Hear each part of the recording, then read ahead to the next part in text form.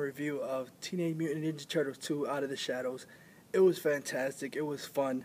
It was better than Civil War. It was a complete ode to the animated series. That the end had the actual animated series theme. Uh, there were odes to Vanilla Ice. They had an Ice Ice Baby. Casey Jones was awesome.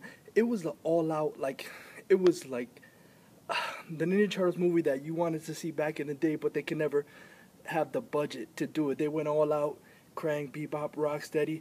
The only thing I'm disappointed that Shredder kind of got frozen at the end, and he didn't really do any fighting.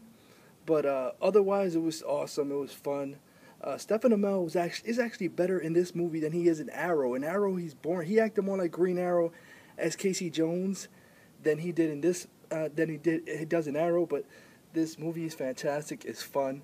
It's awesome. Like I said, it's total Ninja I'm looking forward to part three. Uh, I never thought, just like I never thought I would see Batman and Superman and Wonder Woman in the same movie together. I never thought I would see Krang, Shredder, Technodrome, all this insane stuff in one big colossal Ninja Turtle movie. And kudos to Michael Bay and Dave Green. Awesome movie. Uh, like I said, I'll see it again.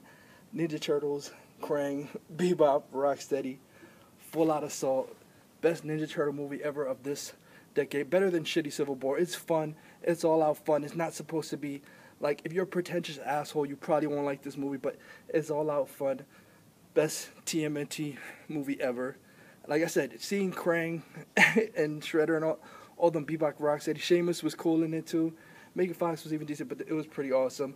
Uh, great movie. I'm gonna see TMNT 2 out of the shadows, and it's kind of cool.